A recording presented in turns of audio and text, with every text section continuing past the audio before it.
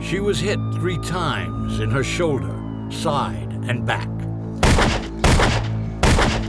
She sat there bleeding. And then they lied about her. They would have you believe that as she lay there, slowly bleeding to death, she miraculously got out of the car, walked over to the fallen trooper, picked up his gun, and shot him twice in the head. They know she never got out of that car. But why was the trooper on the ground in the first place? They had no lie for that one. That's it. Marshals, remove Mr. Kunstler. Weren't you thinking it was possible that you might have killed the trooper yourself, wildly firing in all directions? Madly firing your gun?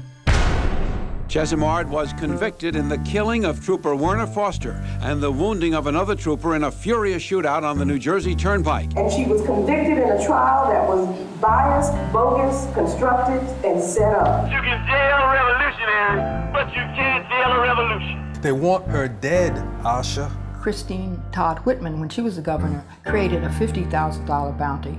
Governor Whitman herself went on TV and put a bounty on her head for a million dollars. Put a million dollar bounty out for Assata, what that does is say, we're willing to pay for kidnapping. Open the doors. You just, just decided to kill everybody. Biggs, they started shooting again.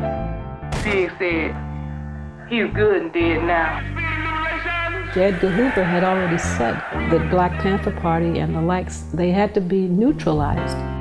There's danger in the true telling of this story.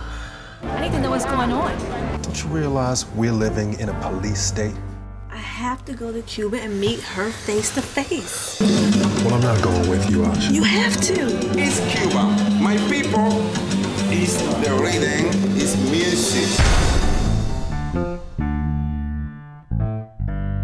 If we do nothing else in this generation, if we can pull this off,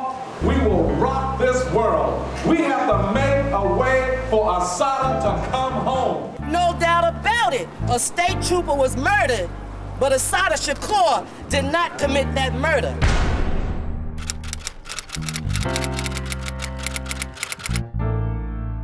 If you think you know this story, you should see this film.